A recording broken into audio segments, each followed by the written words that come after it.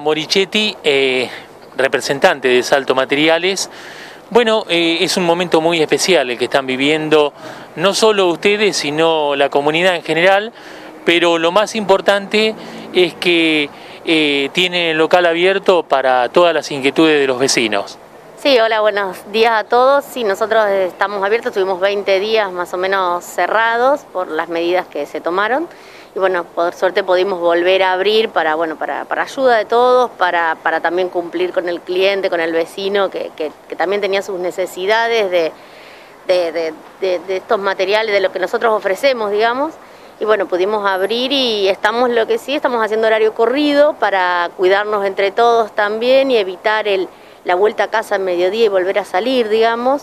Entonces ya desde que abrimos dispusimos de, de abrir de siete y media, que era nuestro horario habitual, pero directamente hasta las 4 de la tarde, hasta las 16 horas, y ahí eh, cortamos. El reparto lo cortamos un ratito antes para poder cargar para el día siguiente.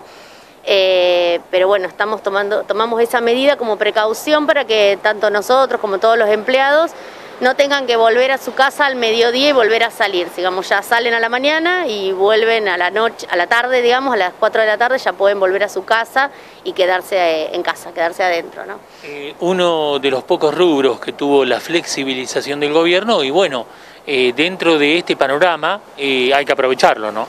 No, sí, por supuesto, nos agarró de sorpresa porque nos levantamos y nos enteramos que podíamos volver a abrir, así que volvimos a abrir el sábado, no el viernes.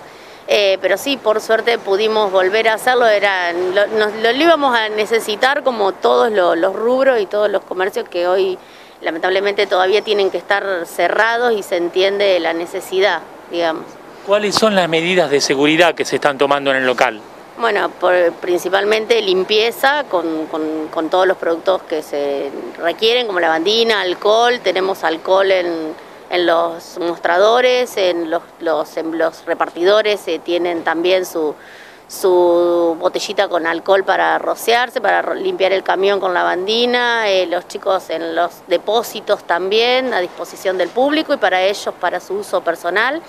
Eh, hemos pedido, bueno, que desde que el barbijo se hizo obligatorio, que el tapaboca, que la gente ingrese con tapaboca, no más de cinco personas adentro, si bien disponemos de un amplio local que pueden estar separados, igual dispusimos eso, le pusimos como una separación entre el mostrador, para que haya una distancia entre el mostrador y el cliente, para que no se apoyen y estén eh, cerca del vendedor.